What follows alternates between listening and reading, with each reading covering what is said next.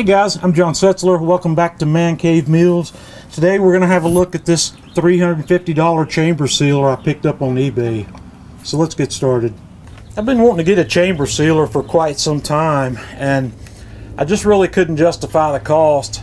The VacMaster uh, 210 that I like so well is $900 give or take depending on when and where you buy it. And somebody introduced me to these cheap uh, Chinese chamber sealers that are found on eBay. And I got this one for $350 and it's specced out almost identical to a VacMaster 210. I don't know who the actual manufacturer is on this unit, uh, but I do know the model number is DZ-260C. And there's some information you can find online about these. And the first thing I did, obviously, when I decided to look into this is I came here to YouTube to try to find some informational video on it. And there's very little out here, and there's even less that's spoken in English. So I figured I'd do an in-depth walk around of this thing and a little demo of it just to get some uh, information out. When you unbox this thing inside the chamber, uh, you get an, a little paper instruction manual a screwdriver, a hex key, and this looks like some extra material that goes over the sealer bar. And I'm not really even sure what that is, but it's probably related to the sealer bar also, so I'm just going to hang on to all that. It also comes with the power cord. What this machine does not come with that you need is some vacuum pump oil. And if you read the fine print on the eBay ads, it tells you that. So I was aware of that and I ordered some from Amazon to use in this machine. And it didn't take much and it's real easy to get to. There's just one screw on the back of the machine. You have to pull out with that hex wrench and then the top lifts up and there's a very easy uh, access oil port. And there's a window on the port that you use to judge how much to put in and it shows you. All that went very smoothly very simply and uh, couldn't ask for a whole lot easier. I know that the higher end versions of this thing are maintenance free where you don't have to worry about that but for $350 that's something you have to deal with. The front control panel on this unit looks uh, a lot like all the other ones that are on the market. You've got several options you can set here and by pressing the set button you uh, set your vacuum seal time or your vacuum time. And this one uh, let me have a look here. This one goes, let's see where it maxes out. It looks like it'll go way on up to uh, 99 seconds. And it looks like you can set it down anywhere from 0 to 99 seconds. So it's got a really wide range. Uh, I'm going to set it probably at 45 seconds to start with. And then the next option you set is your seal time. And I'm going to use this use the information from VacMaster on sealing bags. So we're going to set the seal time to 1.2 seconds and then we're going to set the cooling time to 1.0 seconds and we're going to test uh, some vacuum sealing. And when it comes back here, it's either going to say ED or it'll be a double dash and that just means that it's ready to go. So once you have your material inside the sealer, from this point, you just press the start button and it starts doing its thing. So let's get something to seal. Uh, this chamber sealer also does not come with any bags of any kind. So I went to Amazon and I bought a box of a thousand 8 by 10 bags just to get started. And one of the reasons I wanted a chamber sealer is because these bags are cheap. I got a thousand of these for like $43. So it's uh, 4.3 cents per bag, which is a big savings over your typical food saver style bags. Okay, I think the first thing we're going to do is I'm going to seal up one of these bags with those extra tools that came with the uh, vacuum sealer. Uh, I just put these in one of these 8 by 10 bags and what you do here is you raise this bar up you lay your bag top across the sealer where it extends out just past the edge of the sealer bar there and you put your bag back down or put the bar back down close the lid one of the things I found here is that when you start this seal you want to kind of hold that lid down until the suction gets started. So we're going to start it. And it's pumping the air out. It's going to go for 45 seconds here, which is where we set it. And we'll just watch it as it goes. It's going to suck all of the air out of the chamber itself. And that's what it's doing now. And I'll run this again where you can see what the gauge up front is doing. It shows you how much air is being sucked out. And once it gets all that air out to that time we set, which I think we set at 45 seconds, the sealer bar is going to activate.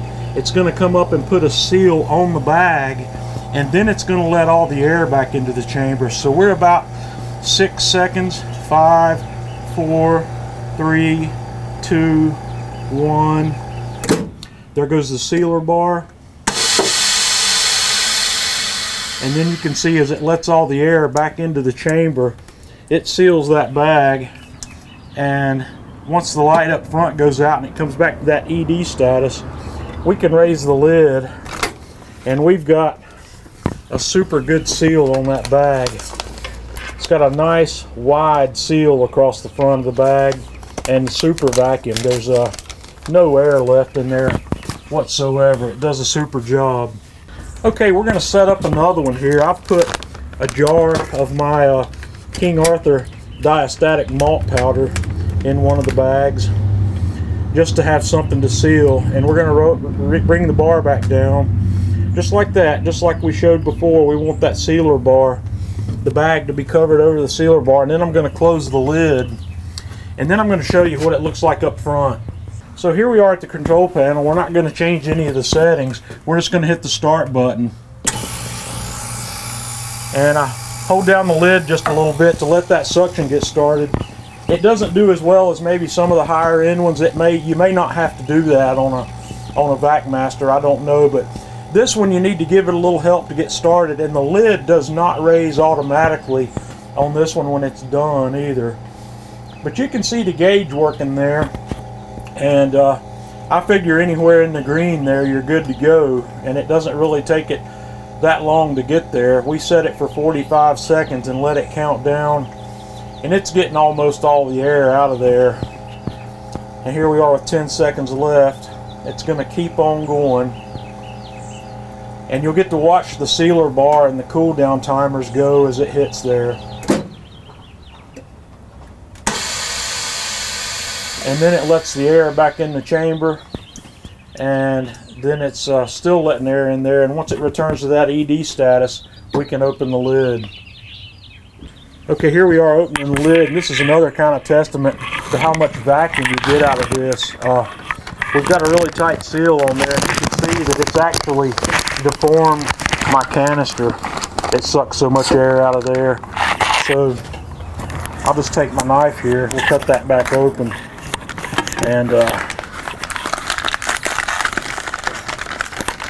once we cut that open, it let my canister come back to its fairly normal shape. I'll open it up and get that back together. But it does a pretty neat job. It's a good, doing a real good job there. One of the other supposed great things here about a chamber sealer is your ability to vacuum seal liquids. Uh, since it's not sucking air out of the bag and it's sucking air out of the chamber, it does a good job with liquids. So I'm taking one of these bags and I've got about 12 ounces of water here that we're going to put in there.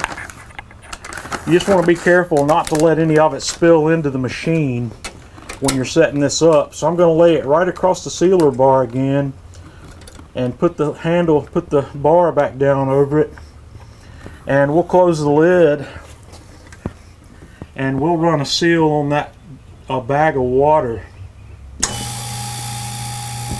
and I haven't changed any of the settings I just left it at 45 seconds which when you're sealing something liquid you might be able to get away with a lot shorter time because there's not really that much air to take out of the bag and it's pretty much fully sealed there after about 15 seconds or it's got enough of the air out you might even get to see the water boil as the uh, pressure lowers in the chamber, that water could uh, actually boil in that bag. I don't know if you can see it here or not, but there's bubbles forming in there. Uh, if I set a longer vacuum time on it, it would definitely boil. It's only got six seconds to go. So it's boiling at room temperature. So here we go with one second. It's sealing the bag. And then it's letting the air back into the chamber. And then we can open the container back up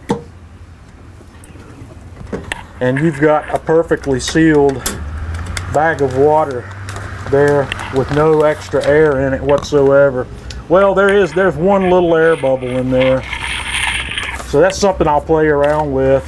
Uh, but that's one of the nice things about this compared to something like a chamber or like a channel sealer. Since we're not sucking air out of the bag, it's not sucking the moisture out of the bag at the same time. One of the other nice features here is the ability to seal jars. And I've got a couple of small jars here that we're going to try. And you just set the lid on there and screw this top on just loosely. You don't, you probably don't even have to have that part on there for this to work. But I'm going to set these on here and just put them on loosely. But the jars can't be tall enough to where you can't close the lid with them standing up. So it's going to be a fairly small jar. So I've gone ahead and changed the setting here. We don't need to run the sealer bar on this. So I set the seal time and the cool down time to zero. So uh, from here, we'll start the sealer. And it's still on 45 seconds, so this is a task where if you've got something that would crush, in a, in a vacuum seal bag, something that's soft that the vacuum would actually crush or damage, you can seal it in these small jars instead and uh, you don't have to worry about crushing it. I saw a demo on YouTube where somebody used some some of those uh, styrofoam packing peanuts inside one of these jars and compared that to doing it inside a vacuum seal bag. They crushed flat in the vacuum seal bag, but they stayed fully intact inside the jar. So these jars have about seven seconds to go here, so we should get a nice tight seal on that here in about three, two, one. Okay, the chamber has replenished its air, so we will lift the lid and take a look here at these jars. Well, that one didn't get much of a good seal. this small one did. I must not have had that one set on there properly, but this this small one has a really solid seal. I can't even pull it off. I'm going to have to get something to pry that one back off. So the small one worked, the large one didn't. I'll try that one again and see what's going on. I may have had a I may have a defective lid on that. So guys, there's your quick rundown of my new cheap $350 chamber vacuum sealer. This is a demo and a walkthrough. I'm not going to call this a recommendation at this point. Uh, I'm probably going to come back and do another review of this product in about six months after I've had a chance to put a lot of use on it. But from what I've seen so far, I'm happy. But I've only sealed uh, 10 or 15 times with this thing so far. I haven't had any trouble with it, but I don't have any time with it yet either. But from what I've seen, as of today, I'm happy. Uh, we'll see how that comes out in six months. So if you have any questions about this or anything specific you'd like to know about this particular model, leave me a comment, let me know. I'll try to answer every question that you throw my way on this because I'm stoked if this thing holds up. Otherwise, this is what I'd call a $350 gamble, but uh, it's a gamble I was willing to take this time. It's not something I do very often. So until next time, this is John Setzler with Man Cave Meals.